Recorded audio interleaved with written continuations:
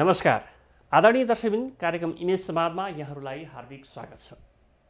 आजको यस कार्यक्रममा हामी पछिल्लो राजनीतिक घटनाक्रम र यसले नेपाली जनता र नेपाल मुलुकमा के कस्तो प्रभाव र असर छोड्दैछ?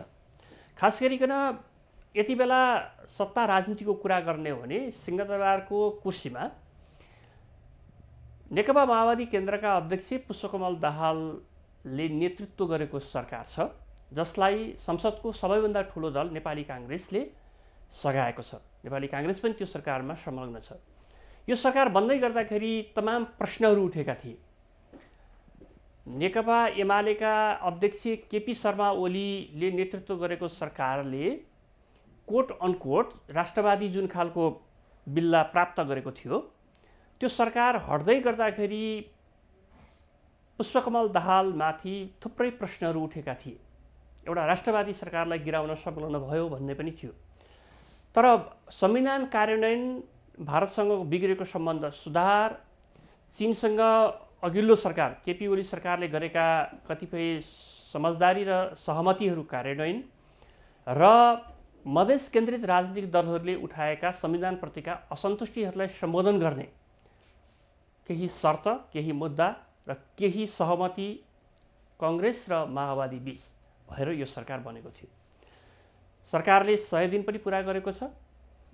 सय दिन पुरा गर्दै गर्दाखेरि यसका केही सकारात्मक केही नकारात्मक चर्चाहरू सुरु भएका छन्। आज म यो कार्यक्रममा नेकपा माओवादी केन्द्रकै एकजना नेतासँग यो विषयमा बुझ्न चाहन्छु।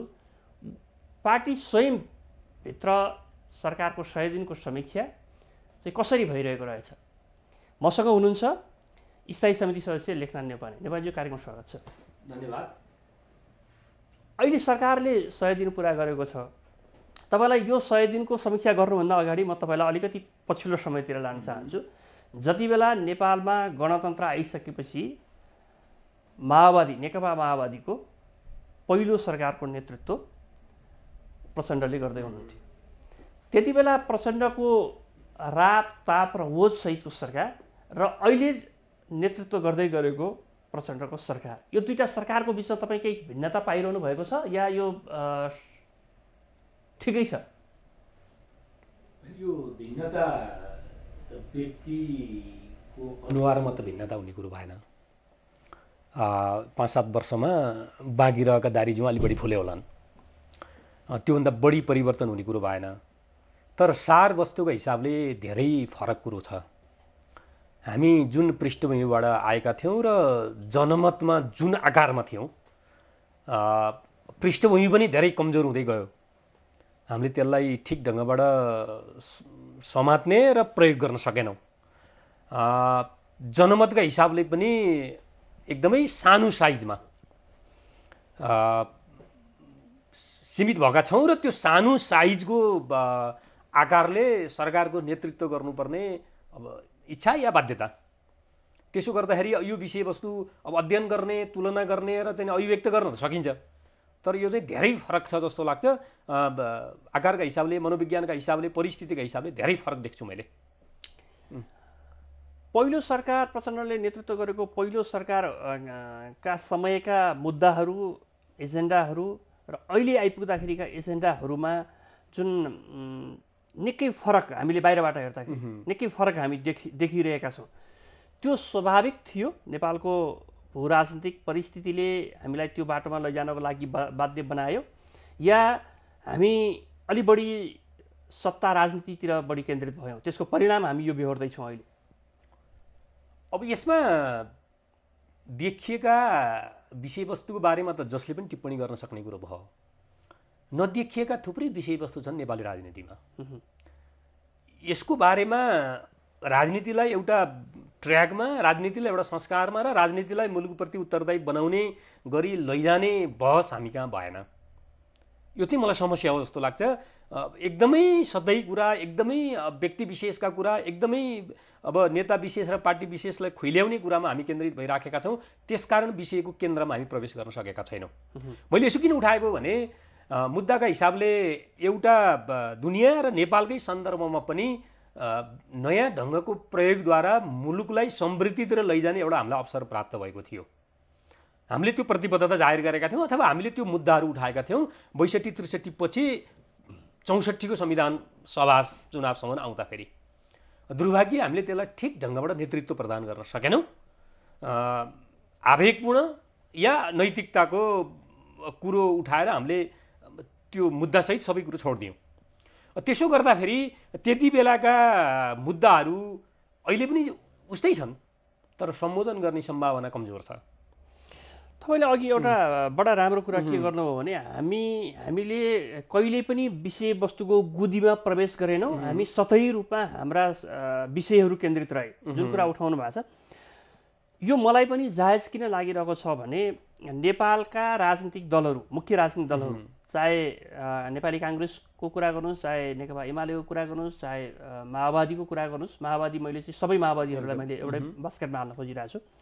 कुरा गर्नुहोस् ती दलहरूले कहिल्यै पनि जनताबाट अधिक मत प्राप्त गर्दाखेरि के कारणले प्राप्त गर्यो त्यसका सबल पक्षहरू के थिए भन्ने कुरा र जनताबाट तिरस्कृत भइरहँदाखेरि पनि हामी किन तिरस्कृत भइरहेका छौँ भनेर आफूलाई कहिले पनि आफूतर्फ फर्केर घनीभूत समीक्षा गरेको चाहिँ कहिले पनि देखिएन। मेरो विचारमा समस्याको केन्द्रै त्यही हो। जनता औपचारिक हिसाबले सार्वभौम छन्। तर अनौपचारिक हिसाबले जनता अहिले पनि मेरो विचारमा रहितेकी तहमा छन्।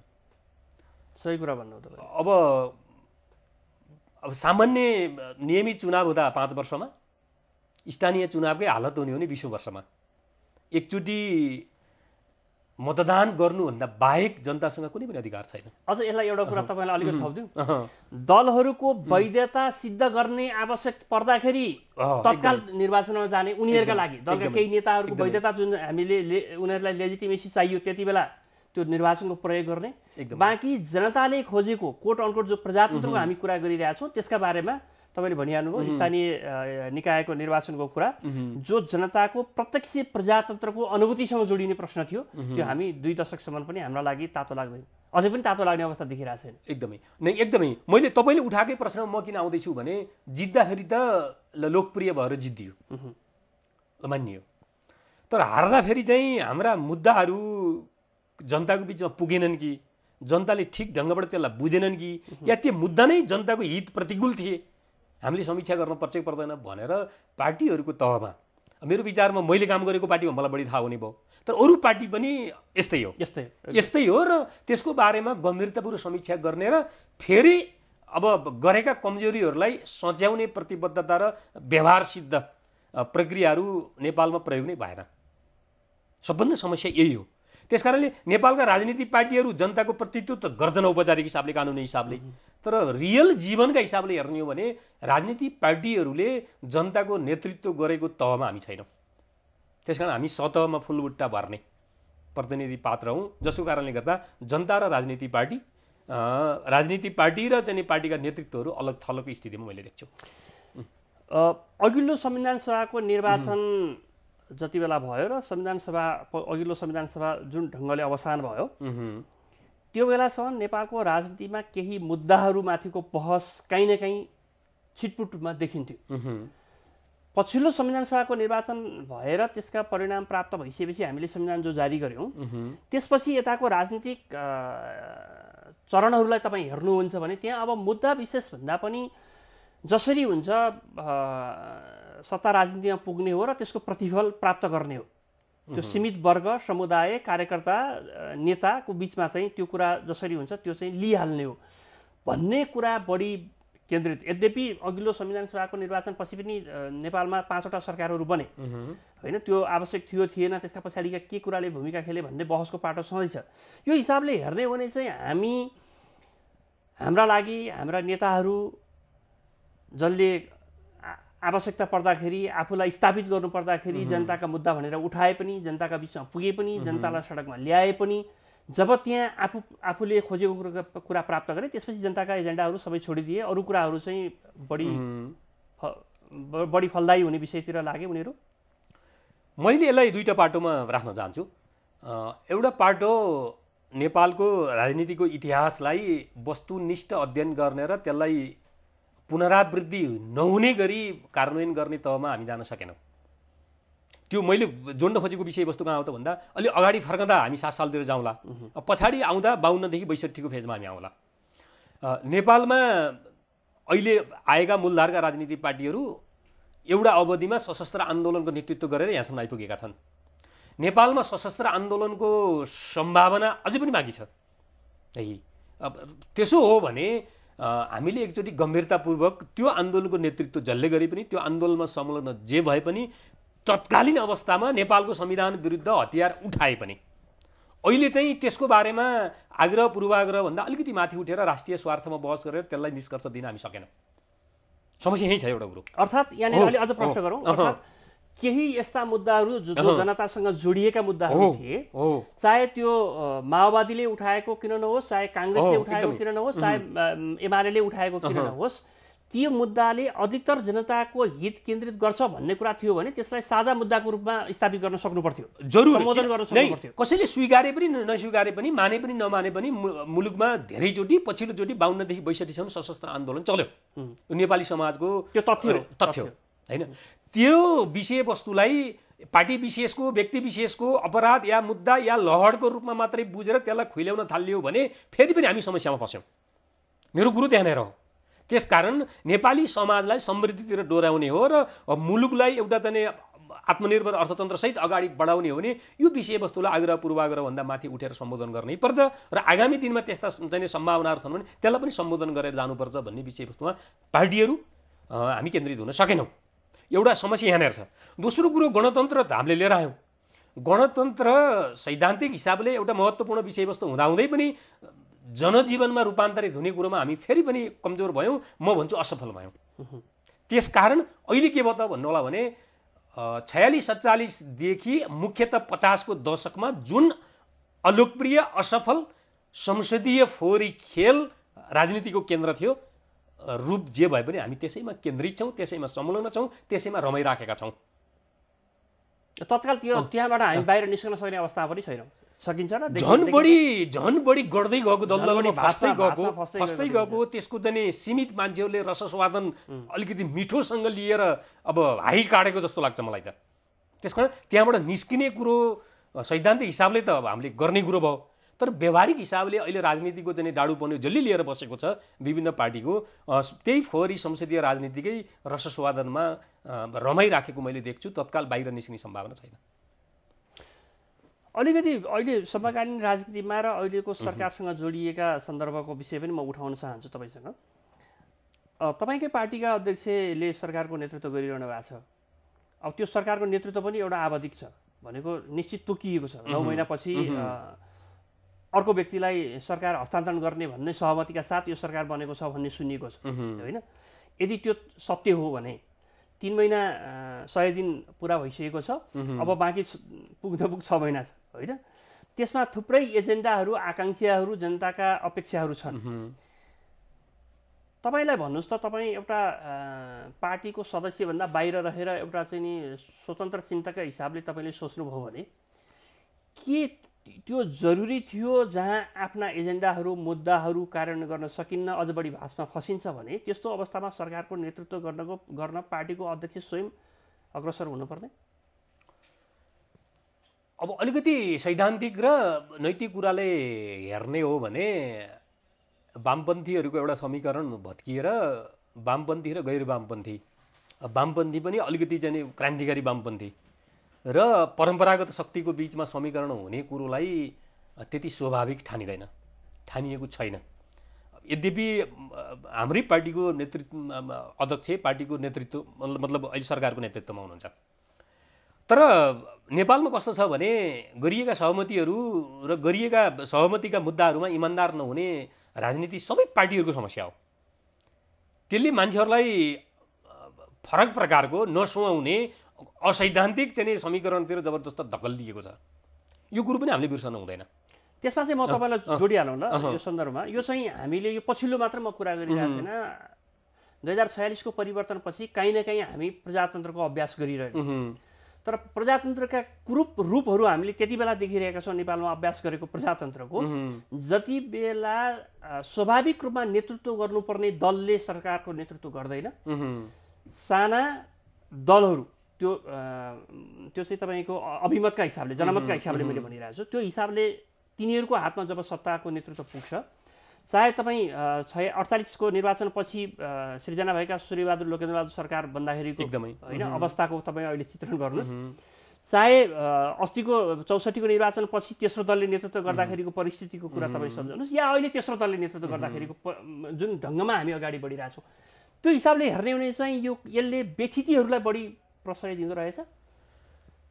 मेरो विचारमा हामी संसदीय व्यवस्थामै छौँ। गणतन्त्रात्मक संसदीय व्यवस्था। त्यसो गर्दा यसका केही मूल्य मान्यताहरू छन्। त्यसका केही मूल्य मान्यताहरूसँग यी कयौँ न कयौँ विषयवस्तुहरू बाजिन्छन् नै। अलिखित सन्दर्भमा। लिखित सन्दर्भमा त संसदभित्रको एउटा शक्ति जुनसुकै आकारको होस् उसले समर्थन प्राप्त गर्दाखेरि अथवा आवश्यक सक्ने भयो। यसमा अलिखित कुराकै प्रश्न आउँछ। जति बेला तेस्रो ठुलो दल त्यो पनि धेरै टाढाको तेस्रो कुले सरकारको नेतृत्व गर्ने र पहिलो ठुलो दलले समर्थन गर्ने कुरो आफैमा एउटा जटिल प्रक्रिया थियो। प्रक्रिया छ नै अहिले पनि। दोस्रो कुरो जुन सरकारको नेतृत्व थियो अहिले प्रमुख प्रतिपक्षी छ ऊ सरकारबाट हट्दाखेरिको प्रक्रिया भन्नुहोस् या पीडा भन्नुहोस् त्यसले दिएका अभिव्यक्ति गरेका गतिविधिहरू जो घेराबन्दीको रूपमा विकास भइराखेका छन् त्यो अर्को प्रतिकूलता छँदैछ त्यसो गर्दाखेरि मूलभूत रूपमा अब संविधान कार्यान्वयन गर्ने कुरो त्यो संशोधन मार्फत हो या अरू प्रक्रिया मार्फत होस् तपाईँको चाहिँ भूकम्पपछिको पुनर्निर्माणको कामलाई तीव्रता दिने होस् या शान्ति प्रक्रियाका बाँकी कामहरूलाई अब तपाईँको चाहिँ एउटा निष्कर्ष दिने काम चाहिँ गतिका साथ अगाडि लाने प्रतिबद्धता व्यक्तिगत हिसाबले प्रधानमन्त्रीले गरेको देखिन्छ। हामीसँग भेटघाट गर्दा पनि त्यो प्रति धेरै नै चिन्तित भएको म पाउँछु। तर परिणाममा हेर्दा उहाँ वरिपरिका चाहिँ विभिन्न संयन्त्रहरू छन्। सचिवालयदेखि लिएर कर्मचारीको संयन्त्रदेखि लिएर अरू थुप्रै संयन्त्रहरू छन्। त्यो सबै हेर्दाखेरि चाहिँ फेरि उहाँको त्यो हुदुटीलाई डेलिभर गर्ने तत्परता चाहिँ मैले त्यहाँनिर स्वयं उहाँले पनि दुई तिनचोटि भनिसक्नुभयो एकदमै। म मैले बोलेकै कुरा हुन्न मलाई सघाउने मान्छे नै भएनन्। म मात्रै कुदेर कहाँ पुग्ने भन्ने खालका जुन अभिव्यक्तिहरू उहाँले दिनुभएको छ त्यो हिसाबले पनि काहीँ न काहीँ उहाँले जे आकाङ्क्षा लिएर जे सम्भावना देखेर सरकारको नेतृत्व गरिरहनु भएको थियो त्यो ठाउँमा पुग्न नसकिने भयो भन्ने कुराको चिन्ता उहाँलाई कहीँ न कहीँ देखिन्छ त्यो चाहिँ देखिनलाई अब यो एउटा अर्को प्रश्न चाहिँ हामी कहाँ हाम्रो नेपालको राजनीतिमा प्राय उठिरहने। दलका ठुला नेताहरू अझ त्यसलाई भन्ने हो भने उमेरका हिसाबले एउटा एउटा चरणमा पुगेका नेताहरूले गर्न सकेनन्। युवा नेताहरूले त्यसको काँध थाप्नु पर्थ्यो। युवा नेताहरूले चाहिँ त्यसलाई मुद्दाहरूलाई उठाएर एउटा पार्टीलाई चाहिँ भाइब्रेन्ट बनाउने चलायमान बनाउने कुरामा चाहिँ दलका युवा नेताहरू सक्रिय हुनुपर्थ्यो तर त्यो सम्भावना पनि नेपालका युवा नेताहरू भन्नेहरूले देखाएनन्। भन्ने गुनासो आम रूपमा उठ्ने गरेको छ। त्यो सबै पार्टी विशेषमा। त्यो तपाईँहरूको पार्टी विशेषमा पनि काङ्ग्रेस एमालेको पार्टी विशेषमा पनि। यो गुनासो स्वाभाविक छ या यो गुनासो जान्दा जान्दै पनि चिर्न नसकिने त्यहाँ थुप्रै खालका संयन्त्रहरू छन् जसले गर्दाखेरि तपाईँहरू व्यवस्था बोकिरहनु भएको छ। यो विषयवस्तु धेरै छलफल भयो र तपाईँले व्यवस्थाको कुराकानी गर्नुभयो। त्यो कुरो लगभग नजिकै हो जस्तो लाग्छ मलाई। होइन भन्ने पक्षमा म छैन। मैले किन त्यसो भनेको भने नेपालका राजनीतिक पार्टीहरू संस्थागत छैनन्। नेपालका राजनीतिक पार्टीहरूभित्रका मुद्दाहरूलाई एउटा श्रृङ्खलामा विकास गर्ने हामीसँग संस्कार छैन अथवा त्यो हामीसँग दैनिकी छैन। त्यसो गर्दाखेरि स्वयं पार्टीभित्र सङ्गठनको विषयवस्तु आउँछ। सङ्गठनका विषयवस्तुहरूमा कार्यकर्ताहरूका रुचिहरू उसका जाने क्षमताहरू उसका सम्भावनाहरूलाई हेरेर विश्लेषण गरेर उसलाई चाहिँ नेतृत्वको तहमा ब्रुमिङ गर्ने एउटा कुनै पद्धति पनि छैन त्यो प्रकारको संस्कार पनि छैन। कोही व्यक्ति विशेष चाहे त्यो क्षमताले होस् चाहे त्यो चाकरीले होस् चाहे त्यो मुख्य नेताहरूको चाहिँ सम्पर्कमा रहेर होस् पदमा पुगेका होलान्। होइन? कुनै एउटा चाहिँ जिम्मेवारीमा पुगेका होलान् तर तिनको कार्यक्षमता परिणाम निकाल्ने गरी कार्यक्षमता उहाँ कहीँ पनि देखिएर मलाई लाग्छ थुप्रै युवा प्रतित्व गरेकै साथीहरू नेपाल सरकारका महत्त्वपूर्ण मन्त्रालयको नेतृत्व गरेको हामीसँग धेरै टाढा जानु परेन। एघात वर्षका चाहिँ इतिहासहरू छन्। सामान्य जागिर खाने सामान्य आफू नजिकका केही मान्छेहरूलाई नियुक्ति गर्ने र मेरो विचारमा आफ्नो चुनाव क्षेत्रमा आगामी दिनमा चुनाव लड्न सजिलो बनाउने गरी केही औपचारिक काम गर्ने भन्दा बाहेक केही पनि गर्नुभएको छैन। यसको अर्थ कहाँनिर राख्छ भने एउटा युवाहरू स्वयं अब एकदम क्षमतावान भएर मान्छेहरूलाई अब प्रभावित गर्ने पनि हामीले त्यो गर्न सकेनौँ। त्यो हाम्रो तर्फको कमजोरी भयो। दोस्रो क्षमता भएका सम्भावना भएका त्यो क्षेत्रमा रुचि भएका कार्यकर्ता युवा कार्यकर्ताहरूलाई योजनाबद्ध तरिकाले विषय विज्ञ बनाउने गरी पार्टीहरूले त्यो संरचना विकास गर्न पनि सकेनन्। जसको कारणले गर्दा युवाहरूको बहस धेरै हुने तर तिनीहरूको खास प्रभाव नेतृत्वको तहमा उठ्ने सम्भावना नदेखिने। आजको दिनमा नेपालका दलहरूको गतिविधि हेर्ने हो भने हामीले भनौँ न बाहिर हामीले प्रजातन्त्र खोज्यौँ। हामीलाई लाग्थ्यो कुनै समय यद्यपि म यसको अर्थ त्यो नलागोस् हामीले भन्यौँ लामो समय भन्यौँ। नेपालको विकासको सम्भावनाको नेपाली जनताको चाहिँ एउटा चाहनाको महत्त्वाकाङ्क्षाको सबै कुराको बाधक चाहिँ नेपालको राज संस्था रहेछ। यसलाई फाल्यौँ भनेदेखि रातारात चाहिँ नि यहाँ एउटा उलट पुलट हुनेछ भन्ने हामीले कल्पना गऱ्यौँ तपाईँ हामी नै त्यो अभियानमा जोडियौँ। तर राजतन्त्रको अन्त्य भएको पनि एउटा कोट अनकोट राजतन्त्रको अन्त्य भएको पनि हामीले दशकभन्दा बढी पार गरिसक्यौँ। तर अहिले तपाईँ हेर्नुभयो भनेदेखि नारायण हिटीमा कैद भएको राजतन्त्रभन्दा अहिले दल र तिनका नेता विशेषमा हुर्कँदै गएको राजतान्त्रिक जुन खालको व्यवस्था छ त्यो त झन् चुनौतीपूर्ण भएर आएको छ नि नेपालको राजनीतिमा होइन? अब यसको विषय के छ भने तपाईँले भनेको जस्तै राजतन्त्र बाधक थियो। त्यस कारणले हामीले धेरै रगत पसिना आँसु बगायौँ र त्यसलाई फाल्यौँ। त्यो कुरो गलत थियो भन्ने होइन। त्यो कुरो सही नै थियो। किन इतिहास अगाडि बढ्छ? अगाडि बढेकै विषयवस्तुलाई हामीले पक्रने हो। पछाडि फर्कने र पछाडिको कुरो ठिक थियो भनेर अब तपाईँको इतिहासको हत्या गर्ने तर हामी जानु हुँदैन। एउटा पक्ष तर सँगसँगै कस्तो हो त भन्दा राजनीतिक पार्टीहरू राजनीतिक पार्टीको तहमा राजनीतिक पार्टीका नेताहरू नेताको तहमा हामी विकसित हुन सकेनौँ। अर्थात् यसलाई यसलाई अर्को अर्को हिसाबबाट पनि जोडौँ तपाईँले भनेकै कुरा। हामीले राजतन्त्र र राज राजतन्त्रात्मक व्यवस्थाको नेतृत्व गर्नेहरूको जे जे अवगुणहरू देखाएर हामीले त्यो सुधार्छौँ भनेर भन्यौँ। तर हाम्रा नेताहरूले पनि त्यही पथ समाते चारित्रिक हिसाबले हेर्ने हो भने।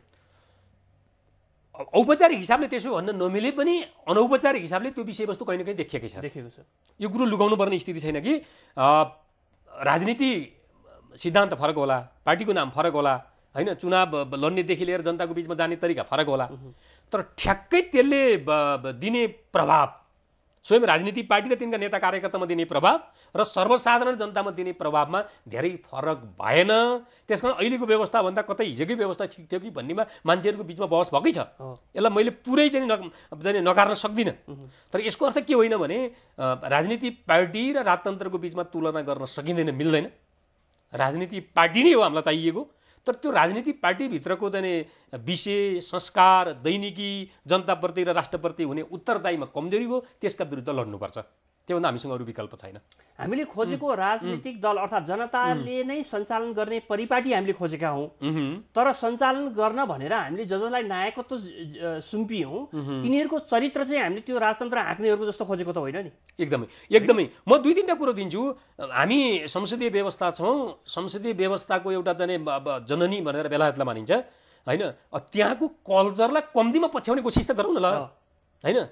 एकजना सर्वसाधारण जनता बेलायतको चाहिँ तपाईँको अब संसद अगाडि एउटा झन्डा ल्याएर एक्लै प्रदर्शन गरेको छ नि त्यो सरकारको ध्यान आकर्षण हुन्छ र बेलुका उसँग वार्ता गर्छ त्यहाँको सरकारले। त्यो हो नि त संसदीय व्यवस्थाको अन्तर्वस्तु भनेको हाम्रोमा यति धेरै चाहिँ जनताहरू विरुद्धमा छन् कुनै एउटा मुद्दा विशेषमा कुनै एउटा सरकारको निर्णय विशेषमा कुनै पार्टीको निर्णय विशेषमा। तर हामी त्यसलाई पुरै के गर्छौँ व्यवस्था गर्छौँ र आफूलाई पूर्व लागेको विषयवस्तुमा अगाडि गइराखेकै हुन्छौँ। यो त गम्भीर विषय हो नि त। त्यसो भएको हुनाले हामीले राजनीति कसका निम्ति गरिराखेका छौँ? होइन कोबाट प्रेरित भएर गरिराखेका छौँ? र कसको भविष्यका निम्ति राजनीति गरिराखेका छौँ भन्ने कुरो त गम्भीरतापूर्वक नेपालको राजनीतिमा यो व्यक्ति विशेष र पार्टी विशेषको कुरो मैले गरिराखेको छैन। यो प्रकारको संस्कारमा हामीले बहसलाई केन्द्रित गर्न सकेनौँ भने राजनीति फेरि पनि मैले विगतमा भनेको जस्तै अकुल सम्पत्ति कमाउने व्यवसायमा अब संस्थागत हुन्छ। होइन त्यहाँभित्र चाहिँ केही मान्छेहरू चाहिँ अब तपाईँको चाहिँ एकदम ए लेभलका ठेकदार हुन्छन्।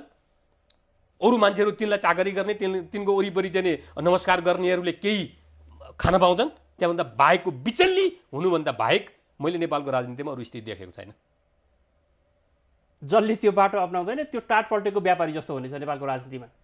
जनता र राजनीतिक पार्टीकै कार्यकर्ताहरू पनि त्यो दुईवटा प्रक्रियामा सहभागी नहुनेहरूको हालत खराब हुनेवाला छ। त्यो तपाईँले सामान्य शिक्षा स्वास्थ्य घाँसबास कपासको कुराकानीदेखि लिएर मेरो विचारमा अरू थुप्रै विषयवस्तुले लपेट्ने छ र मेरो विचारमा यो एउटा भयावह चित्र मैले देखिराखेको छु। धन्यवाद लेखाजी। योभन्दा बढी हामीले अगाडि बढ्न सकेनौँ आजको समयको समयको कारणले तर नेपालको राजनीतिभित्रको जुन चरित्र हामी देखिरहेका छौँ त्यसमाथि हामीले काहीँ न काहीँ अलिकति पनि कोट्याउने एउटा प्रयास गऱ्यौँ। समय दिनुभयो तपाईँलाई हार्दिक धन्यवाद। धन्यवाद धन्यवाद। आदरणीय दर्शक यहाँलाई पनि। साँच्चै नै नेपालको राजनीतिभित्रको गुदी विषयमा प्रवेश गरेर छलफल जरुरी देखिएको छ।